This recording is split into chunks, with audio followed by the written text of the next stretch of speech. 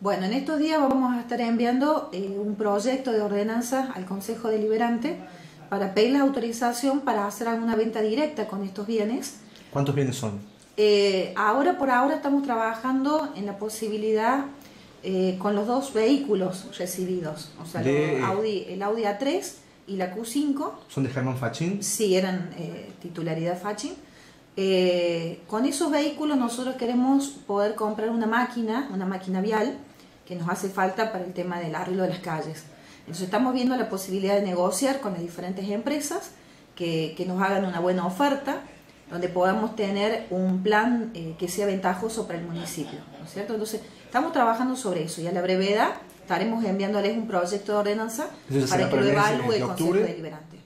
Esto la idea es hacerlo en el mes de octubre, el proyecto. y- Eh, sí, la idea sería para octubre, eh, bueno, antes de que haya el cambio de gestión, ¿no es cierto? Esa es la idea. Nosotros estamos trabajando en la normalización hasta el 10 de diciembre.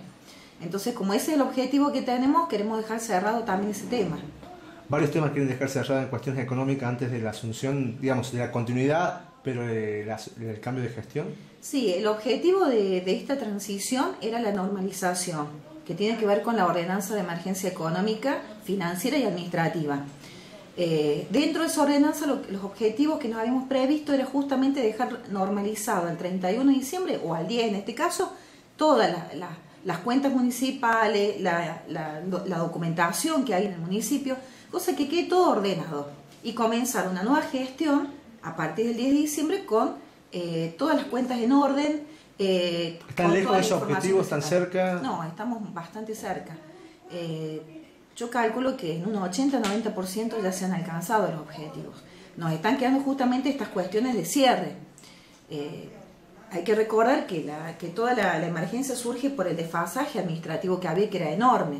Entonces yo creo que lo que se ha hecho a 10 meses de gestión es muy importante, o sea, se ha trabajado sobre muchos aspectos. Entonces todavía quedan algunas cosas, pero las partes más importantes son las que ya se han llevado adelante. Secretario, como siempre, muchas gracias y buena jornada. Gracias a ustedes.